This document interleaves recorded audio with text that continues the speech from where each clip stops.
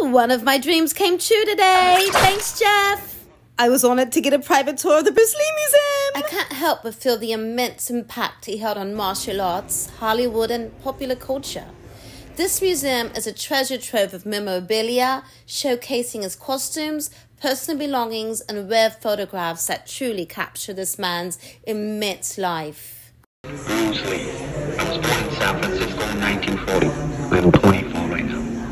Bruce's first student was Jesse Glover, who later became his best friend and actually wrote a book about him. Jesse taught Bruce English, and Bruce taught him how to fight.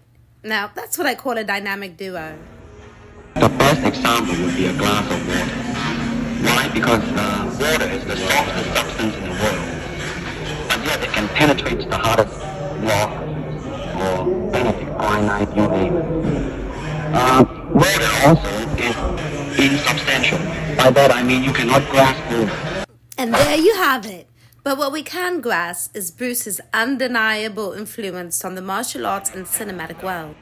Before his iconic movie career, he made waves on the small screen as Kato in the TV series The Green Hornet. And although he was the biggest star in the show, he experienced major racism.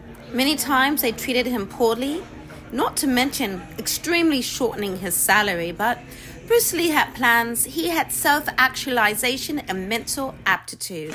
Then came the Fist of Fury, Enter the Dragon, the Way of the Dragon, and The Game of Death. I mean, when I walked in and saw that jumpsuit, I almost fainted.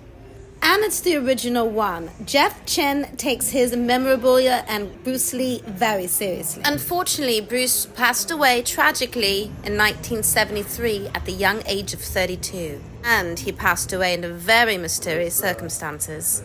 His death left a void in the world of martial arts and left his fans in shock. But his philosophy, his love for human kindness will forever be in our heart.